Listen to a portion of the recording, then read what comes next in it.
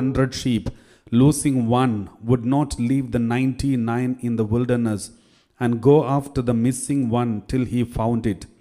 And when he found it, would he not joyfully take it on his shoulders? And then, when he got home, called together his friends and neighbors. Rejoice with me, he would say, I have found my sheep that was lost.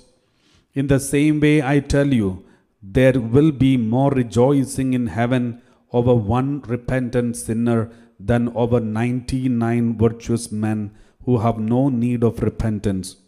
Or again, what woman with ten drachmas would not, if she lost one, light a lamp and sweep out the house and search thoroughly till she found it? And then, when she had found it, all called together her friends and neighbors. Rejoice with me, she would say, I have found the drachma I lost. In the same way, I tell you, there is rejoicing among the angels, angels of God over one repentant sinner. The Gospel of the Lord. Praise to you, Lord Jesus Christ. Praise the Lord. My dear brothers and sisters, we were having a Bible study on book of Exodus. We have come to the last chapters of the uh, book of Exodus. So since we have uh, come to the last chapters, which doesn't need much kind of uh, interpretation, I would like to give you a summary of everything. So it will be a great use for us. So these coming days, we will have the summary of all whatever that we have discussed, but in a different format. So please do be very careful and listen very carefully. Then you will get the whole picture because until now we were taking one by one, one chapter, one chapter like this. So we were trying to understand the whole picture. But now we are going to deal with the whole picture.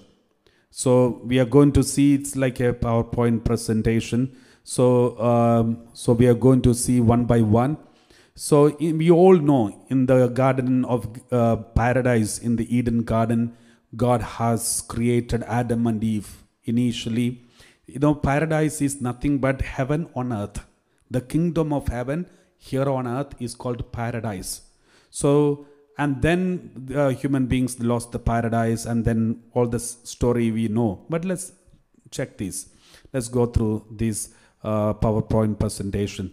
So initially, God, you know, in the the everything is, is in heaven. Heaven existed from the moment God existed.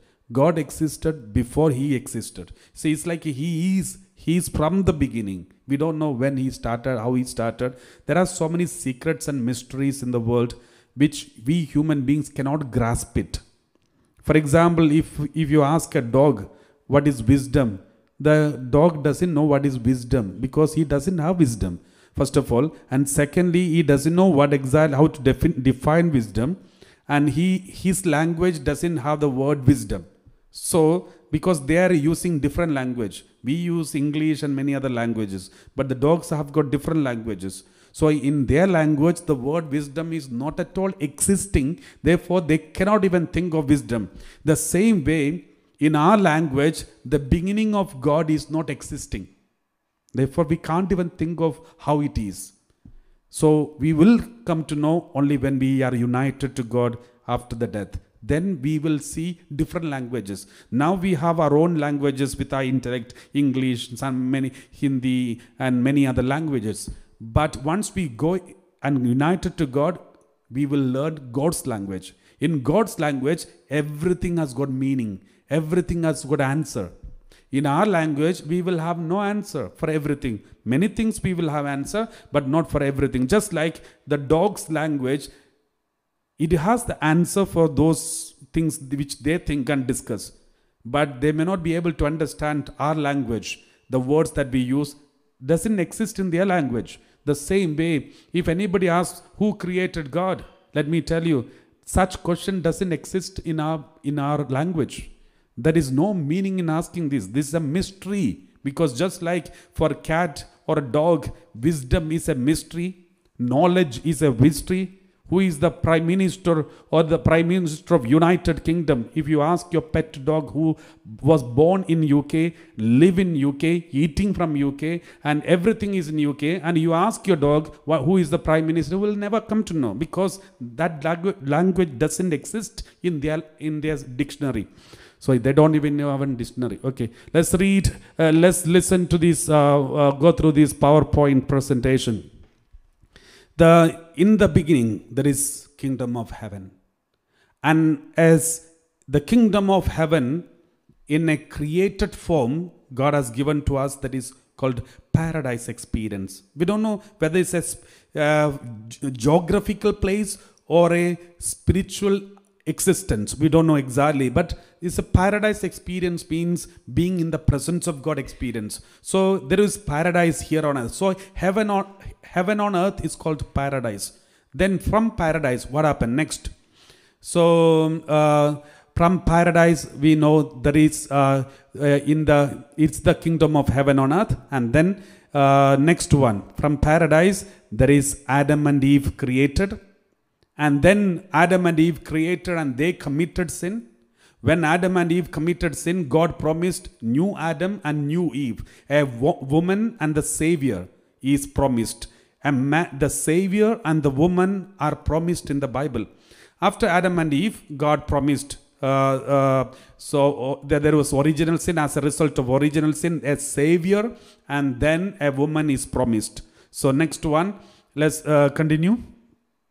And then after the original sin, God promised the Savior and the woman. And then we will see Abraham, Isaac, and Jacob, their patriarchs. And through Abraham's incident, Isaac incident, Jacob's incident, God promised so many things.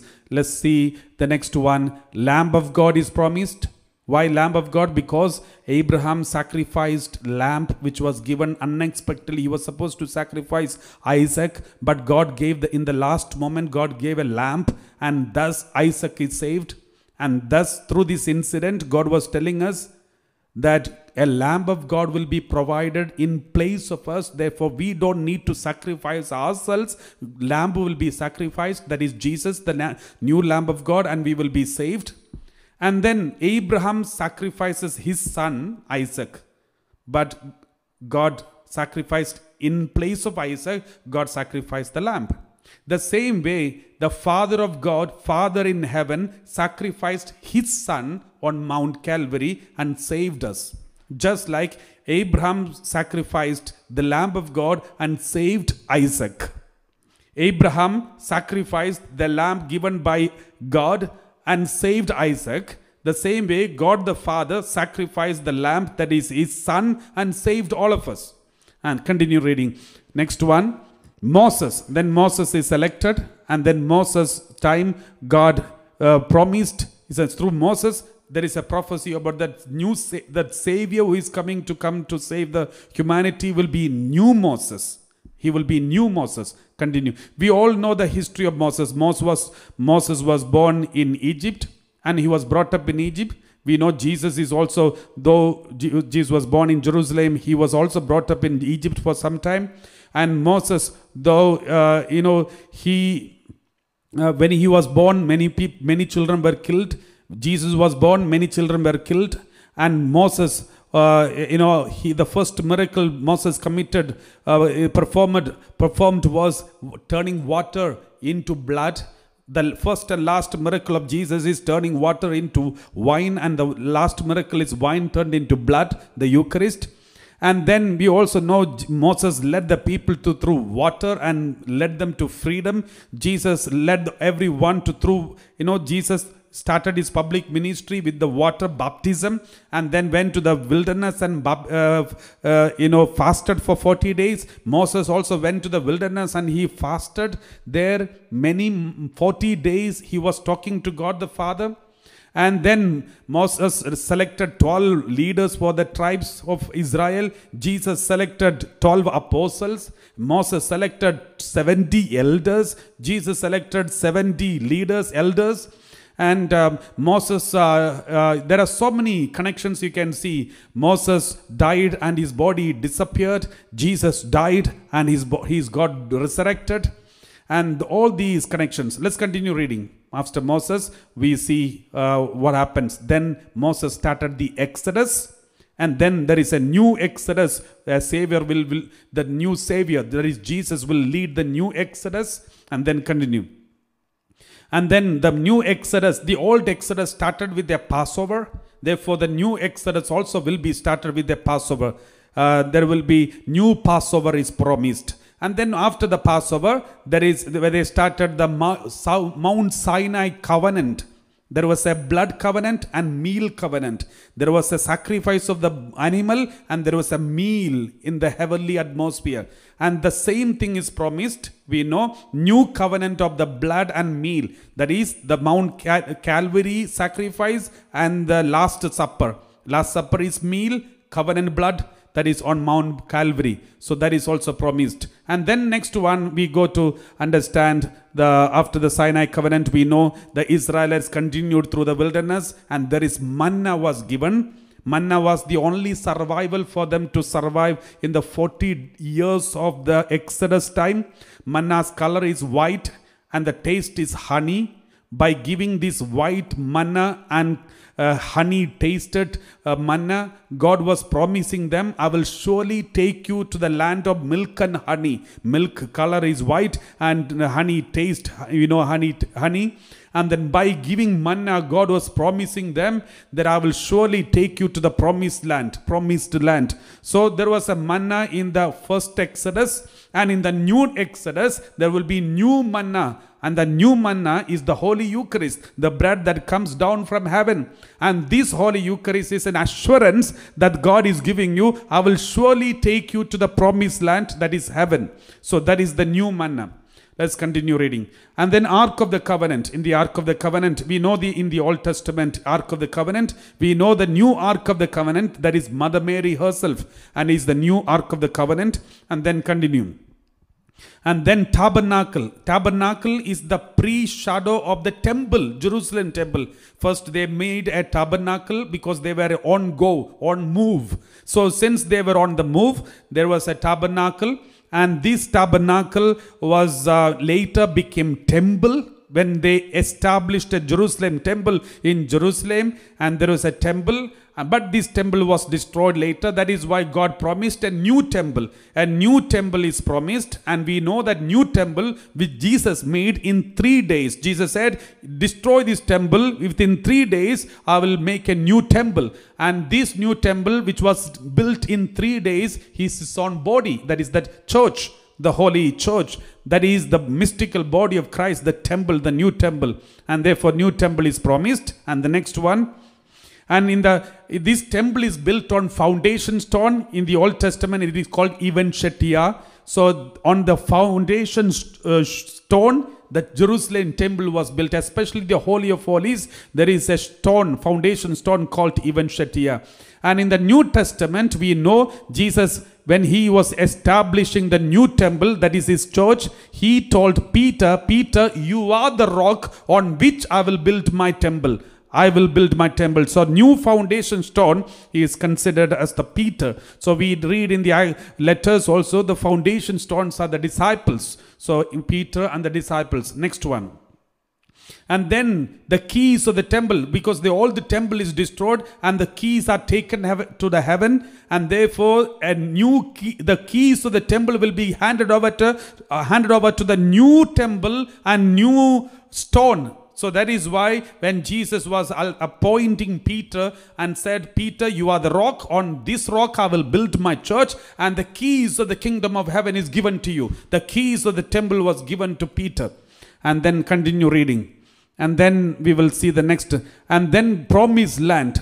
At the end they reached the promised land. And then we know the promised land was not so promised one because they never enjoyed the promised land in a peaceful way because they had lots of invasions from outside. We know Assyrian invasion, Babylonian invasions, and then uh, uh, we can Persian invasion, Greek invasion, Roman invasion. So, so many invasions. Therefore, God through Ezekiel, Jeremiah, Isaiah, God promised them a new promised land that is the heavenly promised land, the heavenly Jerusalem.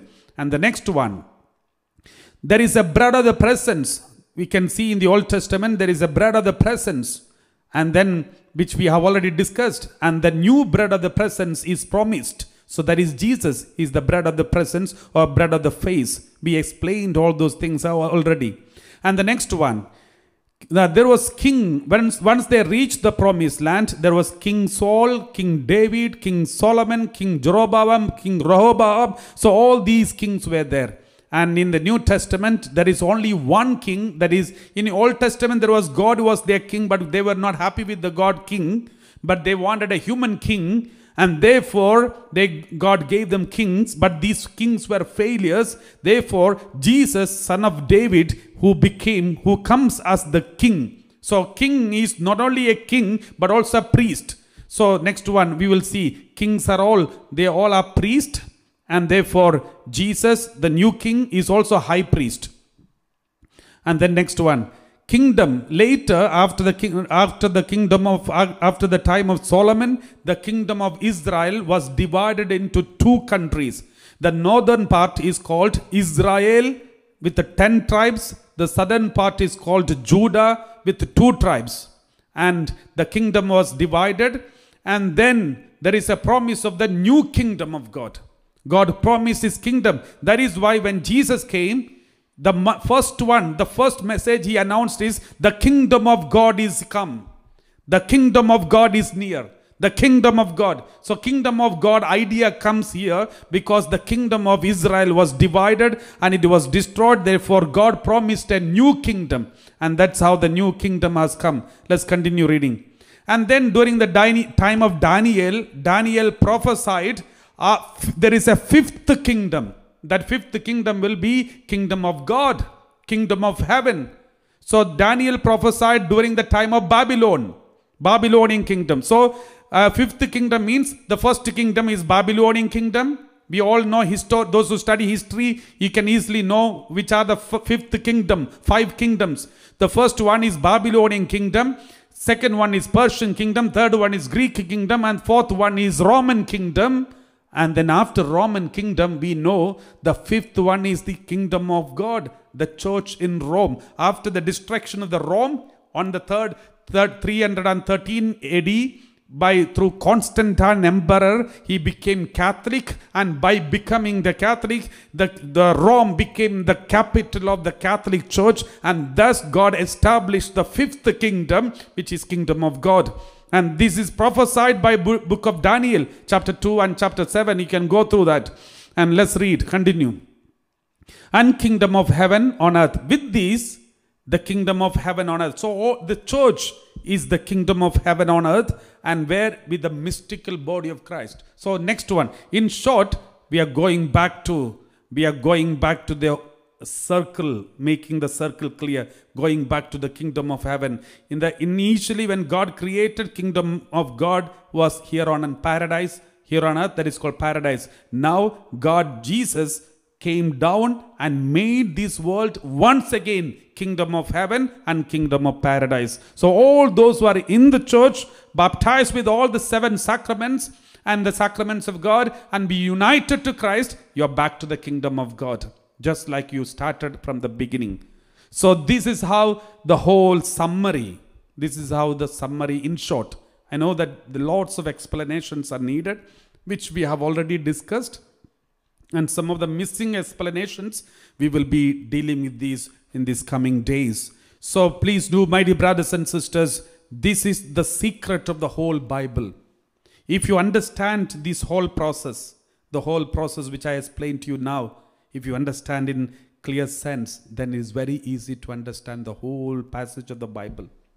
There are so many secrets in the Bible, and those once you understand, you will amaze, you will be sh- so shocked to see all these connections. So it's very important. I know that I went very fast, but I know if you want, you can go through once again all whatever that ever we have discussed and check once again, and you will see the connections between each place, each moment, each, and then at the end you become going back to the square one and you start. So Jesus said, I have come to make everything new. He has come everything to become everything start again. So he started again. In Jesus, everyone new creation because old creation is spoiled, desecrated through Adam and Eve. But the new Adam created everything new and fresh and holy. And everyone becomes in the part of the original, real paradise. Praise the Lord. We know the Old Testament Exodus, and there is a New Testament Exodus. In the Old Testament Exodus, there is a God who is leading them through the powerful leader like Moses. In the New Testament Exodus, God Himself, in the person of Jesus Christ, leading the new Exodus. In the Old Testament Exodus, so and the Old Testament, in the Old Testament, you can see the pre shadows of everything in the New Testament. We have seen so many pre shadows in the past, but let me briefly explain everything, all the pre shadows, one after the another, as we have the time. So, because this is very important for us to know all these facts, because this has to be thorough. We should be thorough with these topics, especially with the connection between the Old Testament and New Testament, and only then we understand why the Old Testament is there in our Bible. Why not only the New Testament? Why do we need Old Testament?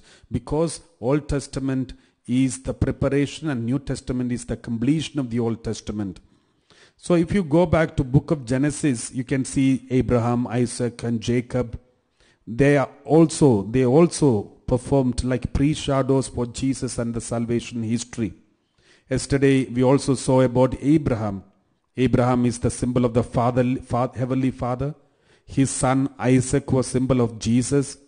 And both of them are going to Mount Moriah. That was the passion of Jesus Christ going to Mount Calvary. Abraham was holding knife and the fire. The fire is the symbol of the Holy Spirit. Knife is the symbol of suffering and passion.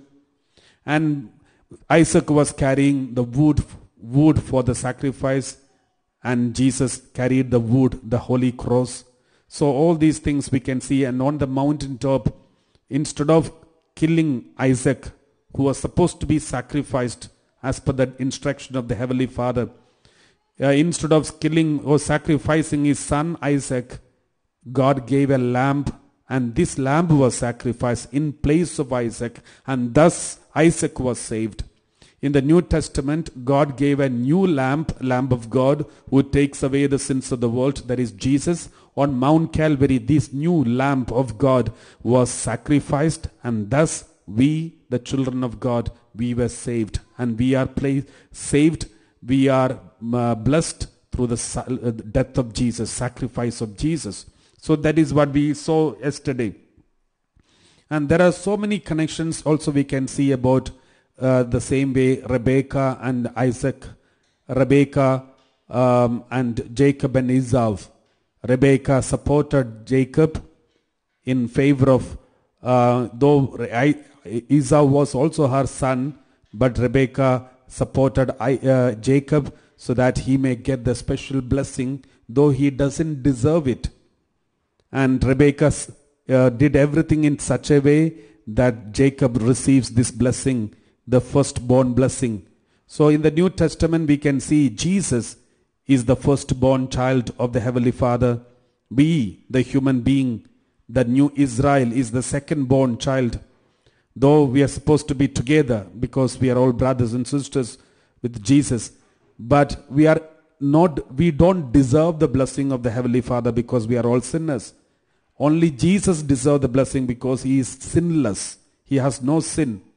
But through the powerful intercession of Mother Mary, we are blessed and put in a position and we in such a way that we may receive the blessing by putting on the dress of Esau. It's like we are putting on Jesus Christ and thus we receive the blessing which is de- deserving, reserved only for Jesus. We receive it because we put on Jesus Christ uh, and then we get saved. So that is the meaning of Rebecca, Esau, and uh, uh, Esau and Jacob's story.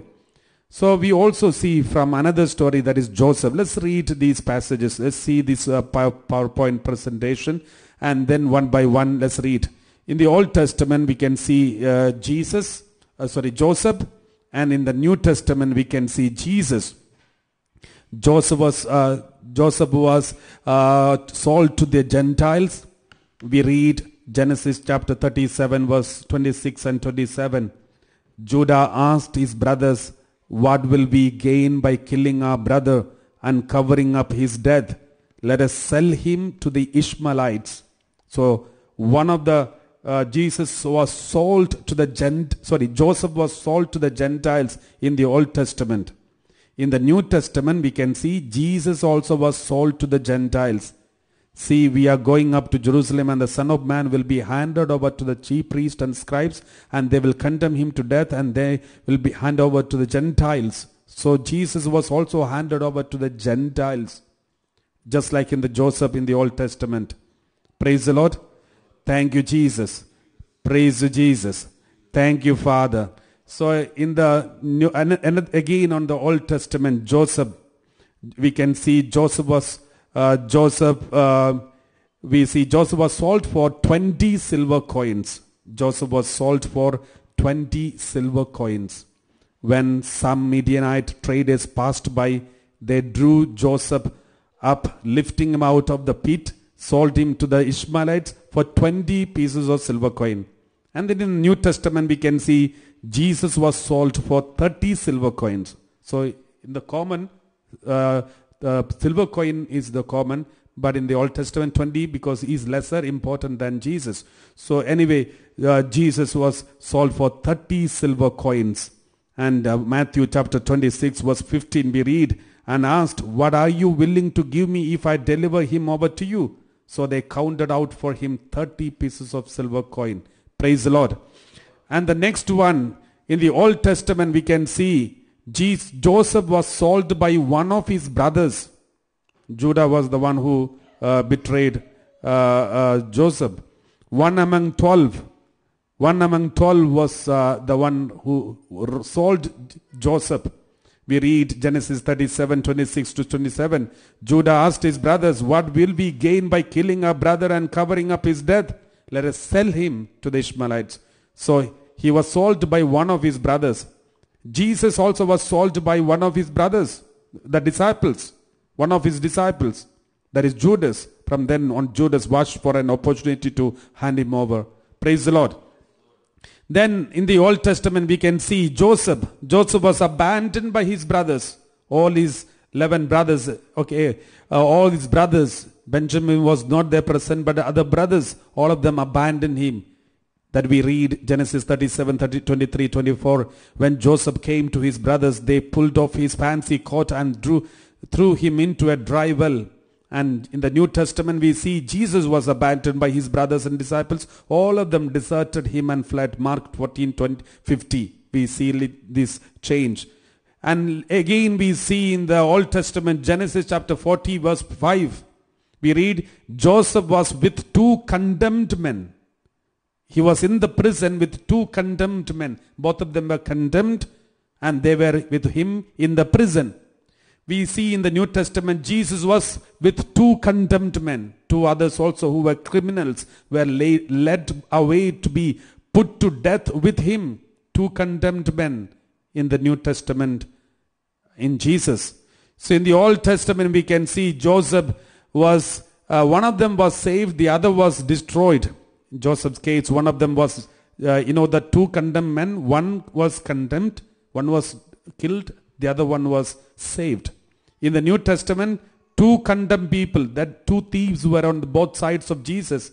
One of them was saved, the other one was not saved. So this we can see this uh, difference. Again, we see Old Testament. Joseph was 30 years old when he entered into Pharaoh's service. 41, uh, Genesis 41 verse 46 we read, Joseph was 30 years old when he entered the service of Pharaoh, king of Egypt. And we see Jesus. Jesus was 30 years old when he started his public ministry and his father's um, service. Luke 3.23, Jesus was about 30 years old when he began his work. And then we see Joseph was ex- exalted to the right hand of Pharaoh's rule over the country. And Pharaoh said to Jesus, Joseph, see, I have set you over all the land of Egypt. Genesis 41, 41. Joseph was exalted to the first, the right hand of uh, Pharaoh. And in the New Testament, we see Acts of the Apostle chapter 2, verse 33. Jesus was exalted to the right hand of the heavenly Father to rule over the whole world. So we can see that. And again in the Old Testament, we see Joseph saved Israelites and Gentiles from death by feeding them with the life giving wheat.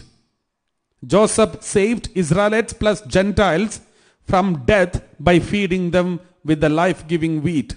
We know in the New Testament, Jesus saved Israelites and Gentiles from spiritual death by giving them the life giving bread. So these connections. So these are the uh, all the connections that you can see between uh, Joseph and Jesus. Praise the Lord. This is one pre- pre-shadow. And there is something else about Mother Mary and Rachel. In the Old Testament, we can see Rachel. Rachel is the father of Joseph. Rachel is the father, sorry, mother of Joseph. And uh, in the New Testament, Mother Mary is the mother of Jesus. So we already saw Joseph in the Old Testament uh, is the pre-shadow of Jesus. And Rachel is the mother of Joseph. And um, Mother Mary is the mother of Jesus. So we can see Joseph is the firstborn of Rachel. In the Old Testament, Joseph was the pre-shadow of Jesus and Joseph is the firstborn of Rachel. And in the New Testament, we see Jesus is the firstborn of Mother Mary. So we can see this uh, connection. And again, we see Rachel's second child is called Benjamin.